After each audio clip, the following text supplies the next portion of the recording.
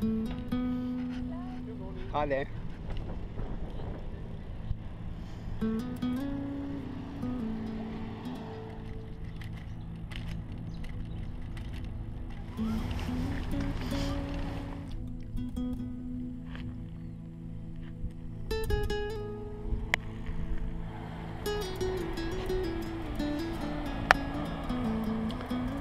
Well, Sue and I are on a bike riding trip. This is Mullaloo, Mullaloo Point, looking back towards our house, which is uh, just beyond that little point there that you can see.